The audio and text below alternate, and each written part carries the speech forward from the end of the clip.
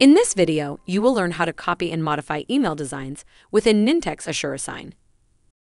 Copying and modifying existing email designs is a huge time saver when needing to create an updated email notification. When creating a variation of an email notification or if testing an email notification. For example, you currently have only one document available to sign email design that goes out to all of your customers. Your legal team just learned that customers in the state of California must also receive the document ID in order for our business to stay compliant. You need to create a new document available to sign email design for your California customers, but you don't want to start building this new email design from scratch. From the Nintex AssureSign Account home screen, click Configure Settings.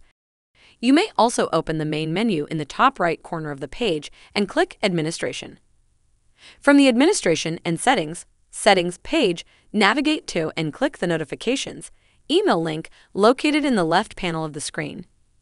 This brings you to the Administration and Settings Email Design page. In the Email Designs area of the page, locate the email design that you would like to copy. You may preview the email by clicking the Email Designs Preview link. Once you confirm that this is the email design that you would like to copy, click Copy. Begin by giving the copied email design its own unique name, which should be easily identifiable. Since this will be a slight variation on an existing email design within an existing email design set, we will leave the email design set with the original selection. Now let's make the update in the email body to include the document ID. Within the email body, let's write in the words, Here is your document ID. We want the document ID to populate right after our newly entered text. To do this, we will click the Insert Merge Fields icon and select the Document ID Merge field. Great! We have successfully inserted the Document ID Merge field and our email design is ready. To finish the email design copy, click the Save button located here.